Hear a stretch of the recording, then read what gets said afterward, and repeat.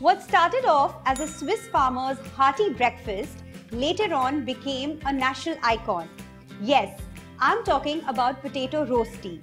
And today we're going to make it with a Ruchi Bharani twist.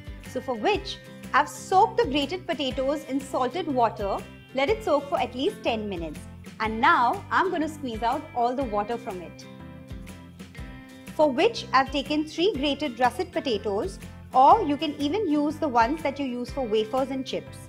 Make sure you squeeze out every bit of water from it and spread it on a few layers of paper napkin to get rid of the excess moisture. Let's pat dry this.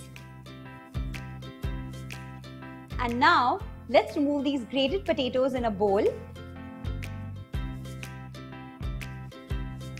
And now comes in the Ruchi Bharani twist. With these potatoes, so I have half a cup of grated cauliflower here. Into this, I'm going to add two spring onions finely chopped. Also add the green leaves, two green chilies finely chopped, 1 4 teaspoon of pepper powder, 1 teaspoon of oil. Let's toss all these ingredients together. Make sure the oil mixes properly with all the ingredients. Just to bind all the ingredients together, I'm going to add 1 tablespoon of rice flour, 2 tablespoons of corn flour. Let's give this a final mix.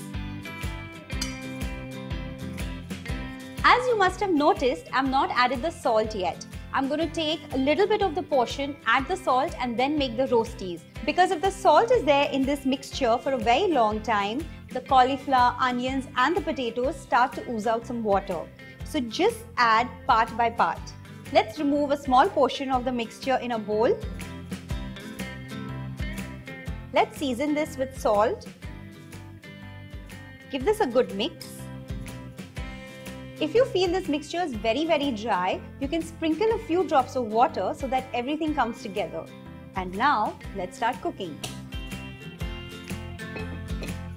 And grease it with a generous amount of oil. Spread the oil evenly on the pan. Let's take a small portion of the mixture and spread it on the pan.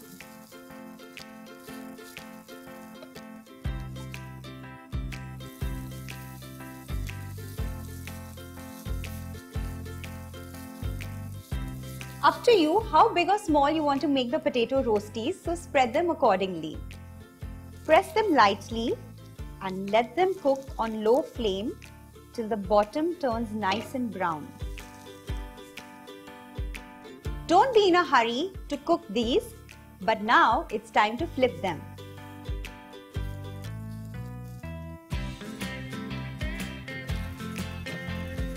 You can see a nice golden crust formed on top. Same way we have to cook it on the other side as well. Let's check on these.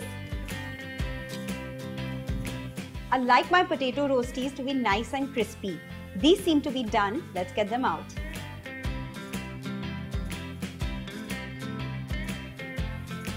Let's make another batch.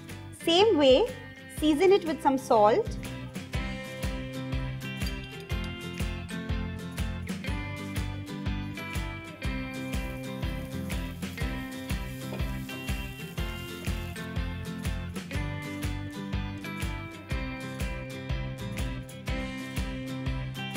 There are many different ways of making and serving a potato rosti, but I like to serve it with a spicy chili sauce and a mayonnaise dip. So do try this at home, comment below and let me know how it turned out. See you next time. Bye-bye.